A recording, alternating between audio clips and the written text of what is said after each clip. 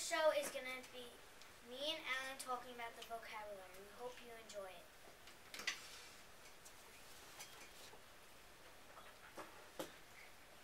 Greetings. Oh, Greetings. I'm Lady Washington. salutations. My name is Lord Nickelbottom.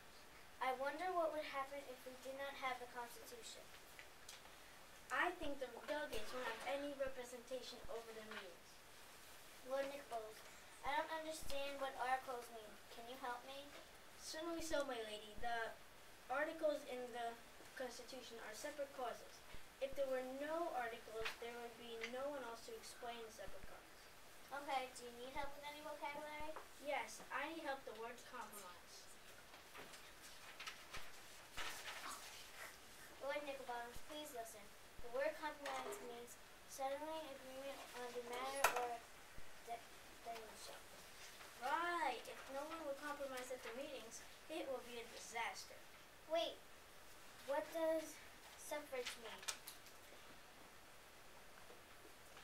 Yes. Also, if we, yes. Also, if we didn't have a suffrage in this country, this country would turn into a dictatorship. Whoa, whoa, whoa. Suffrage means right to vote, right? Yes. What does preamble mean, Lord Nickelbottom? Well, it doesn't, Lady Washington. It doesn't mean anything. It just introduces the Constitution.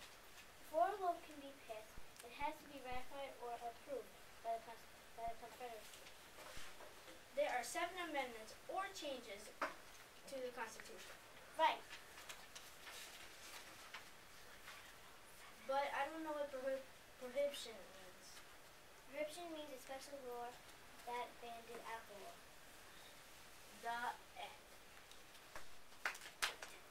Our next show is going to be about the preamble. preamble. Betsy and Robert are going to tell you all stuff about it. We hope you enjoy it. Did you know that the preamble was made into a song? Oh yes, I know it. It goes something like this: We the people, Ah! but Up! Up! Uh, we are not going to sing why not? because we're supposed to talk about the preamble, not sing it. Okay, I'll try. No, you will promise. Fine.